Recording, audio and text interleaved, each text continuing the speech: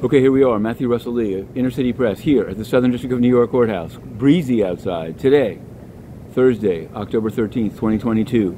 This should be the resumption of the U.S. versus Trevor Milton trial. It's been on pause for nine days due to lead counsel for Trevor Milton, Mark Mukasey, testing positive for COVID. The, the closing argument should be coming, and we'll be covering them. We're also covering, of course, Anthony Rapp versus Kevin Spacey. Yesterday we covered it closely until suddenly we couldn't. What happened?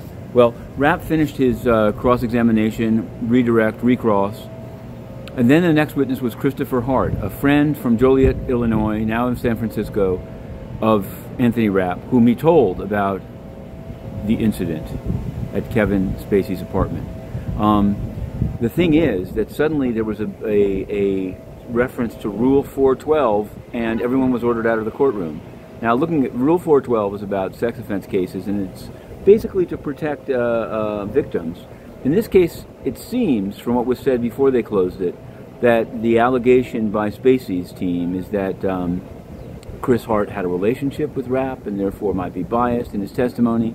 It's unclear because the whole thing was sealed. It actually causes more kind of doubts, but uh, we're going to stay on the case. Uh, expert Lisa Rocchio is on the case. She was on the Maxwell trial as well, right across the street here at 40 Foley, which we covered. Um, so those are two trials going on here at the United Nations. Uh, there's a lot of talk about Haiti. Now, Haiti's a country that the UN brought cholera to and killed 10,000 people.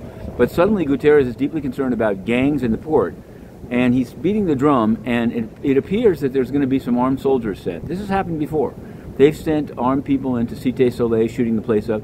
The gang, gangs are bad, no question about it. The question is, have these interventions, probably two dozen by now in Haiti, what fruit have they borne? What benefit to the Haitian people? Uh, it's totally unclear. And what I can tell you is that the UN is entirely not accountable to the Haitian people. When they killed 10,000 people, they didn't pay a penny, and in court, they said, we're not liable, we're immune. And yesterday, the spokesman, Dujarric, said, I'm not going to relitigate that. Yeah, you don't have to because you're immune. Inner City Press will re enter.